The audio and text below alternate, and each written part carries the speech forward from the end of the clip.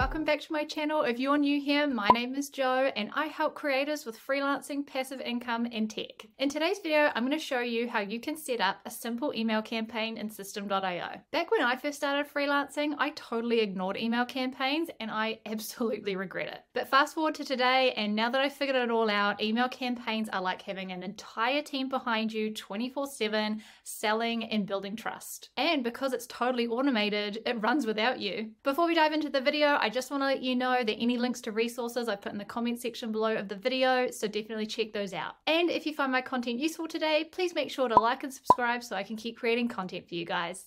Okay, so for email campaigns to actually be automatically delivered, before you do anything, you actually need to have a lead magnet on a sales page. Now, that lead magnet will be something so irresistible to people that they need to exchange it for their email address. And so you can use systeme.io to do that. And then once that happens, you'll be able to set up an email campaign through systeme.io and you'll be able to automatically market to those people that have given you your email, have given them your email address. So what does that actually look like? Okay, so this is a squeeze page that I have. It's a really simple one. It's just got two sections to it. Now, if people want this download, all they have to do is enter in their name and their email address. And then a really simple thing that you can do after a page like this is just have a thank you page. Okay, so what does that look like in the back end though? Okay, so I have my squeeze page here. You just have to ignore all this other stuff. And then I've got my thank you page down the bottom there.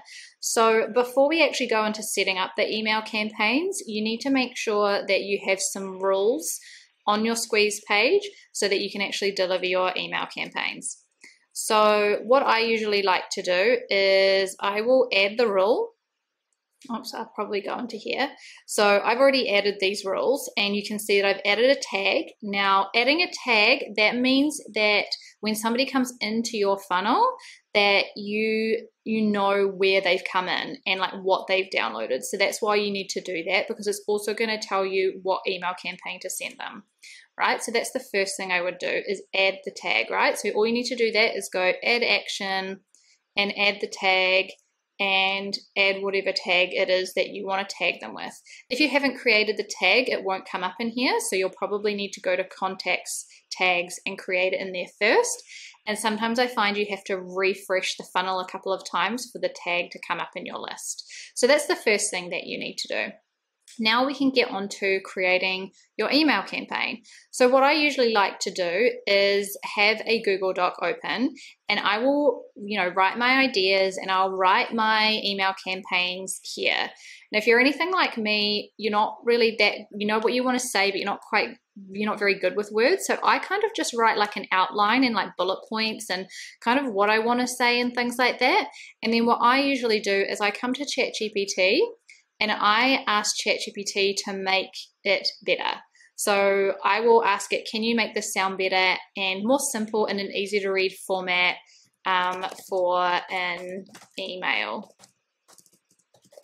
And then I would just copy and paste whatever it is that I'd written in my first email, and I would go back and forth with ChatGPT until I got it right. And then I would come back to my Google Docs and I would copy and paste it in here, and then I would make it like a lot better. So once I had done probably about one to eight emails, because they say it's usually about seven touch points where people can get to know you and trust you, I would then come back into systeme.io and let's set up a campaign. So I'm going to go to campaigns and I'll create a new one and let's just call it email campaign. I always think it's a good idea to write a description for whatever your email campaigns are, just so that you know you don't forget what what you're sending basically. So I'm going to save that.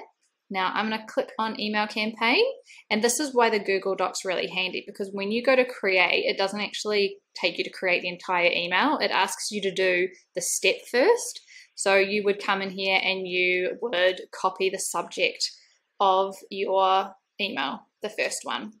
So you would go to there, and now you can choose visual editor over classic editor and I'll show you that in a second but let's just go with the classic editor for now and you would go to save and this is why that Google Doc is really handy because you can see you can copy this and you would paste it back in to your campaign. So you could see there. So it makes it really nice and simple. Now, something I want to show you with Systeme.io, which is really cool, is you can do like personalized stuff in your emails. So they're called variables, and a lot of email systems have them. Um, but it just makes things a little bit more like unique so that you know people feel like that you're talking to them so you can say hey first name and you can see all the different bits of information that you can put in there now you can only put in this list of information um, because that's the information that systeme.io has captured so that's where it pulls from so you can do things like links as well if you want to like link to you know different funnels or affiliate links you want to put in your emails and then of course you have your sign off, which is already down the bottom. Um, you can also add attachments if you like as well. So I'm just going to do save for now, just to save that. Now, I want to say that whenever you write your first email, you always save and test it. Always save and test it because you want to see what it looks like in your email account, if your links are working, everything like that. When you've done that, you can save and publish it. Now, usually the first email of your campaign, you probably want to send, you know, say four hours after somebody has subscribed and gotten your freebie because it's a good amount of time where you know you're not spamming people but like you're just reminding them like hey i'm still here so you can save that. You can go into some more detailed settings um, with times and days and all that kind of stuff but i just usually stick to something simple just to get myself going so I will save that and I will exit out of there. So now you can see that the first email is there. So I'm going to create the next email. Now let's just pretend that this is the second one. So I would have obviously written like eight emails. So I'm just going to number that email number two, test two, and I will come and I will copy that into here. I'm just going with that classic editor again and you would just copy, add all your links, do all your formatting, again, save and test. Now the difference with your second email is that you're going to be saving it and publishing it and you're going to be activating it so that it goes after the next email uh, after your first email. So that was my first email.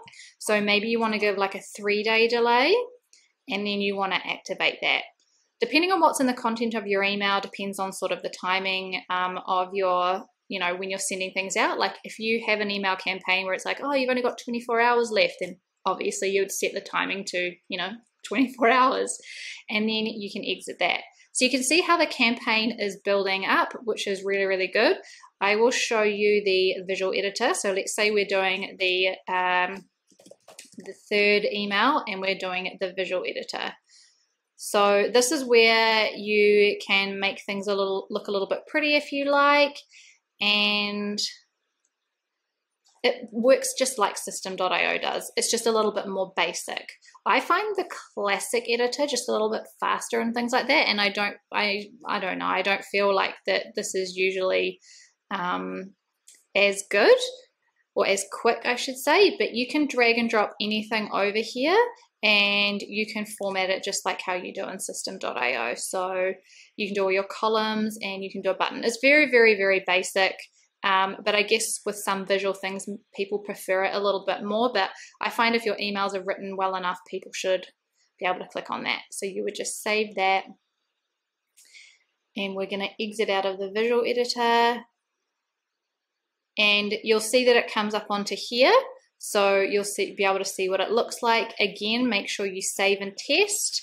And then when you save and publish, you would put it after the third email. So maybe you might do another three days and activate that. Okay, so we've got like an email campaign going. If you ever find that you like the formatting of an email or you just like that email and you want to change something, you can come over to these three little dots here and you can actually duplicate it. So that makes it really handy if you just want to, you know, keep the same format of like the visual editor, but you just want to update some text. So that's where that duplicate button comes in handy. Just remember when you duplicate it, you do need to make sure you test it as well.